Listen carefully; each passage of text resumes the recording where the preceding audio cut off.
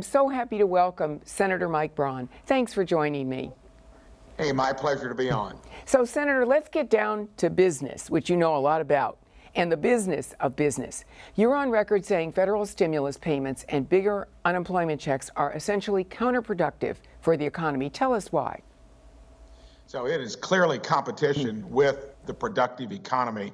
I spent last week, the recess week, traveling our state. Uh, it was a uniform chorus, small, medium, large businesses. Federal government, you're keeping us from getting our own employees back to work. Uh, it's rational on the part of many of the employees. When you've got a 40-hour work week at $15 an hour, 600 bucks, even in a low cost of living state like Indiana, you're getting more than that paid to be on the sidelines. So I was loving it when governors across the country are saying enough is enough. I've challenged every red state governor, including my own, to do the same. Blue state governors ought to do the same if they don't want to keep businesses from leaving their state for other reasons as well. Well, you've been pretty steadfast in your criticism of Washington, D.C.'s out of control federal spending. And I want to get to President Biden's outrageous spending spree, it seems like to a lot of people, in just a moment. But is it fair to say Republicans have also strayed from being fiscally conservative? You know, when I decided to run back uh, after being a state legislator in Indiana, we believe in uh, balanced budgets, rainy day funds. Um, I decided the problem that beset me and my company was federal in nature, uh, along with places like California, New York, New Jersey. That little business has now grown into, I think, 70 locations in 40 states. So clearly, there's an issue. Spending is one component. What I hear mostly currently is competing with getting employees back to work. Mm -hmm. You cannot spend that much money, write it off with some new gimmick, modern monetary theory, and think that it's not going to come home to roost in inflation, difficulties in the midterm and long hmm. term. And, and let's talk about the current administration and their so-called infrastructure proposal. What are your thoughts on it? Well, don't be uh, beguiled by the Madison Avenue uh, phrases they put, like with the rescue plan, COVID relief bill. Well, less than 10% of it was that. They're doing a reprise with infrastructure. Everyone loves infrastructure. I believe at the federal government, uh, if we could afford it and do it sustainably, next to defending the country and maybe shoring up entitlements, we ought to try to do a few things well. They beguile us again, call it the American Jobs Plan. 2.5 trillion, only 6% of it on roads and bridges, as most of us would understand infrastructure. Right, right. Is, is, it hard for you to deal with lawmakers who don't have a real world understanding of business like you do? Is this part of the reason legislation like the Pro Union PRO Act gets this far down the line? No doubt about it, because when I ran to uh, the Constitution, which I think has been such a framework for liberty, enterprise, they never imagined that people would want to do this for a living mm-hmm. term after term. President Biden says he wants to get bipartisan support to move the country forward. Is that the feeling you're getting in Washington? No, that's again part of that kind of uh, sham of saying unity. Let's discuss it. Let's look how that worked on the COVID relief plan. There was not one Republican vote for it. It took the biggest thing they are wrestling with now with another unforced error, extending unemployment benefits. We tried to get rid of that, period, just like we did in the CARES Act in 2020, March, bringing it down from 600 to maybe three to 400. Not one Democrat went along with it. Now, now moving back to Indiana, how did COVID impact the jobs and people there? And now that we appear to be on the rebound, how's it impacting school kids in your state? You know, I think when you look how it's impacted people, it's been about the same across the country. It's been mostly about how intrusive government has gotten. We are in a state that has gotten more conservative over the last decade or two. Uh, there has been a spat between our state legislature that thought we were too much in the mandate category one size fits all. And there's some a little bit of a wrestling match going on between our governor and the state legislature. That same dynamic, to some degree, played out in all 50 states. I think you look clearly at a place like Florida, just like I did uh, before we left uh, for the six weeks after we did the CARES Act. Treat it with respect. We don't know a lot about it. Do not do what government normally does one size fits all. As Senator Braun, you were recently down on the nation's southern border. What did you see when you were there? That was an eye opener. Um, that was roughly a month ago, and I went down there because I think you need to see it firsthand. And I'll give you a, a, couple of the more vivid moments. We get down there late on a Thursday, probably 10, 30, 11 o'clock, as we watched uh, mostly unaccompanied minors mm. and young women coming across the border that late at night. Saw one of the first facilities that they came into, noticed the arrows on the ground pointing them where to go, had the uh, weird uh, encounter with the coyotes and smugglers when they were taunting uh, the Border Patrol. And I asked them what they said. They said, regardless of what you do, we're going to keep coming. Next day, go up and down the river, uh, go to the Donna facility. Everything that they were railing against Trump on, they were doing themselves and an unforced error because it was at a 45 year low. I just asked uh, Secretary Mayorkas about that today, and he didn't have good answers. He did tell us he's not going to do the stay in Mexico policy, which the Border Patrol said that and the wall were the two things that by far made their job easier. Trump did it. They didn't like it. They're undoing it. What's worse, the humanitarian crisis or the national security crisis? So, definitely there is a humanitarian crisis. What would force people to take a trek like that is hard to imagine.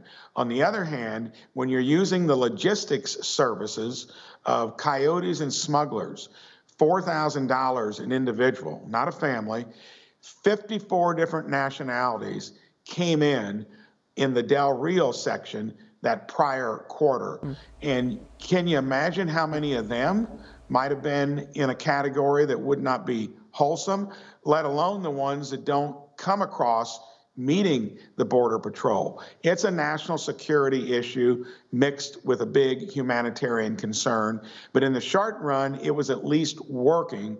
And now you've made it even a worse humanitarian concern because you're inviting people to come by the thousands 150,000 in March, 174,000 in April. It's only going to get worse. A very difficult situation.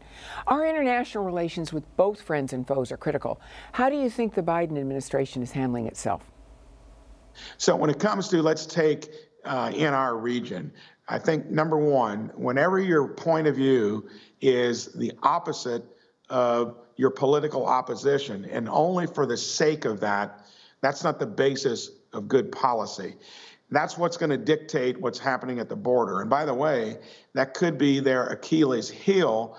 It was the biggest issue, along with the high cost of health care and the economy when I ran in 18. Let's look at the broader scene.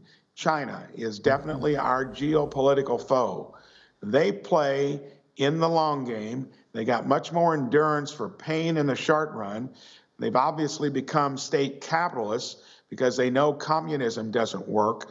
So, could be two to three times the size of our economy, uh, at least equal to us in a decade, and then moving away from us. They worry me, and how we play the game with other part uh, menaces out there like North Korea, Iran, and Russia.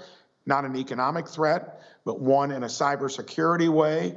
Uh, you know, you need to really be uh, wondering will this policy of tough stance, but wanting to interchange ideas that Trump had, give way to something to where you give them uh, everything and we pay the consequences later. We have a big announcement. The senator wants to unveil a secret, something that's hidden from most of us until it's too late, and it could save you money on health care. We're going to talk about that when we come back.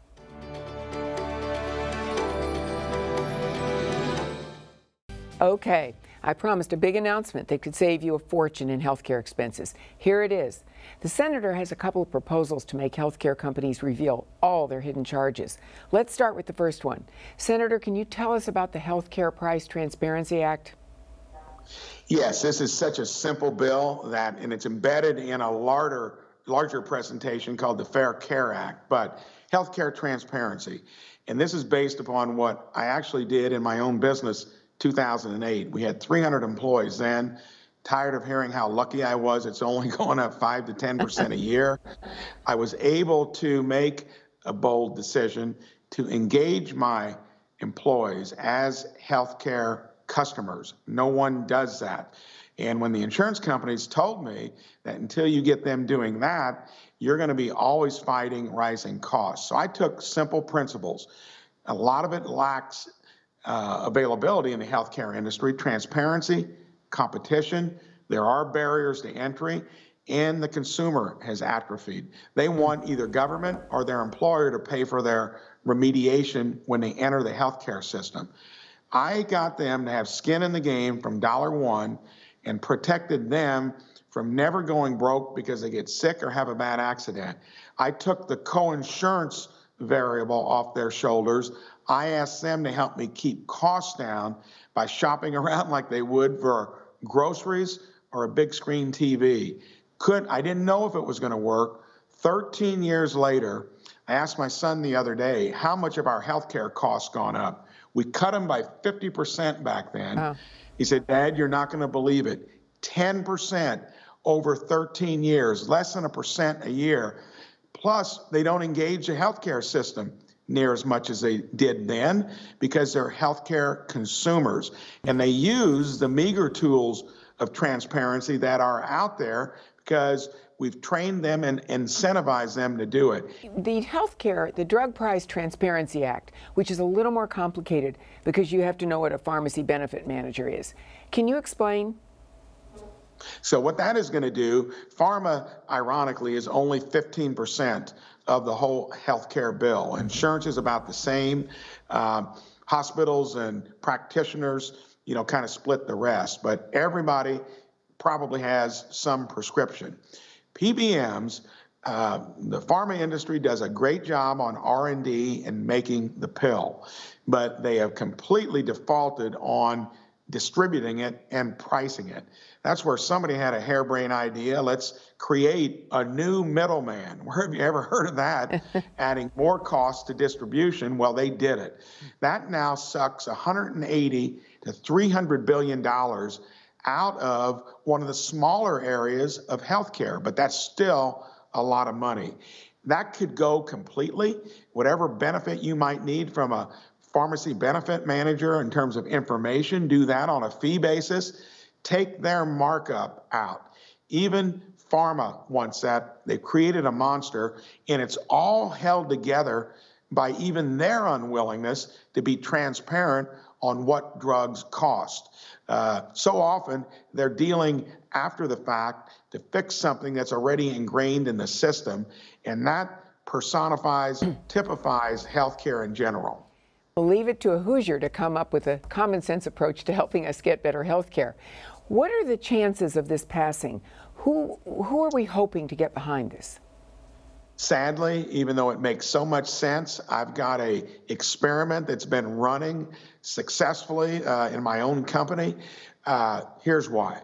Chuck Schumer won't allow transparency on hardly anything because if you ask it of drug companies, you need it from hospitals, who are probably the biggest cost out there where there's no transparency. He gets campaign checks from the New York Hospital Association. Not just Chuck, almost everyone does. I don't think I'll get many going forward.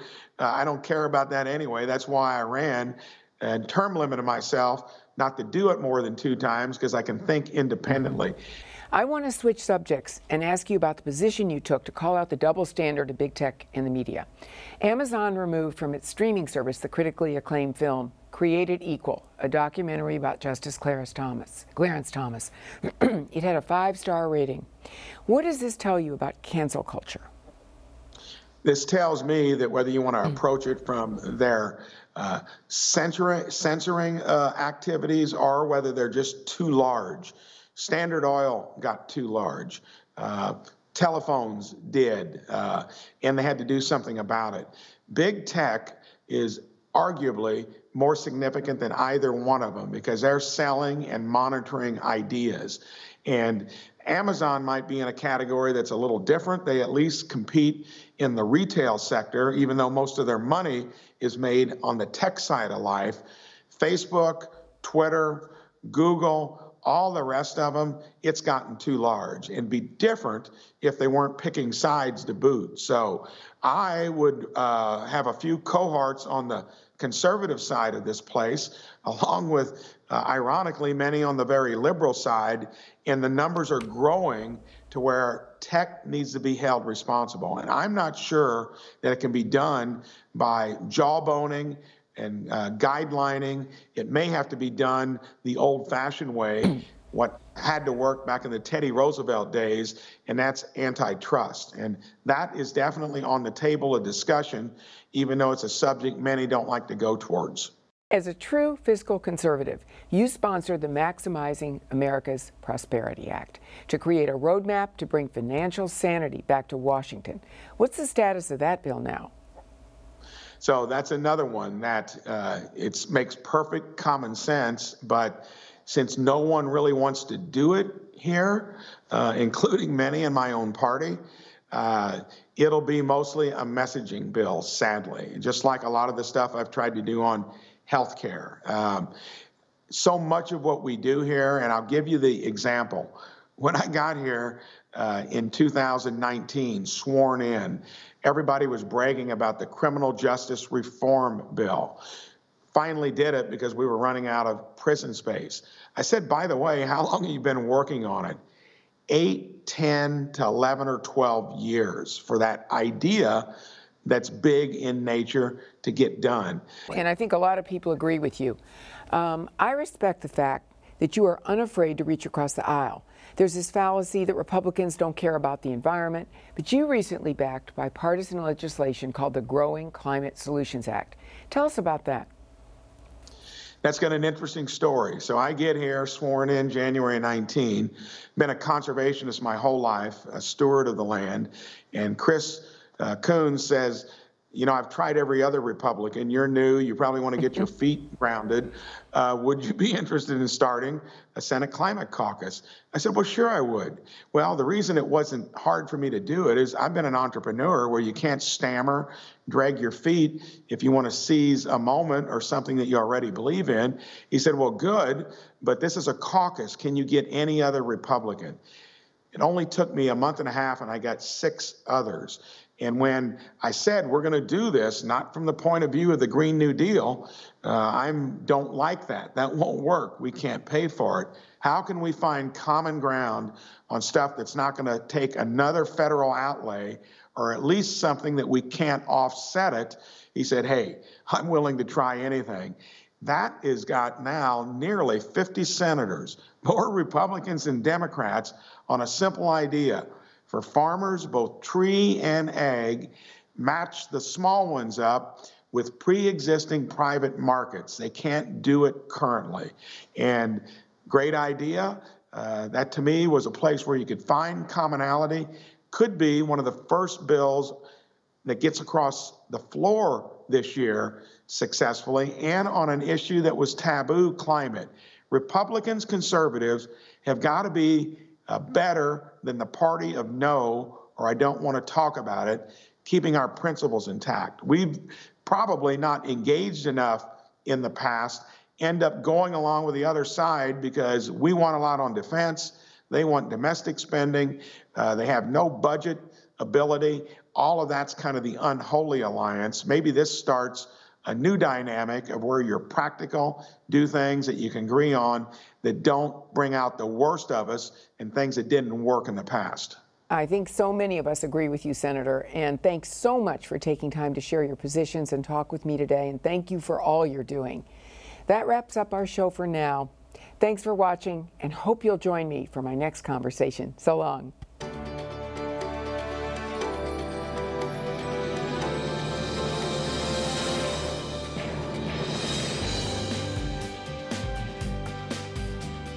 Hey, I'm Rob Finnerty. Thanks for watching. If you enjoyed this video, please join the conversation in the comments below. Don't forget to subscribe, too.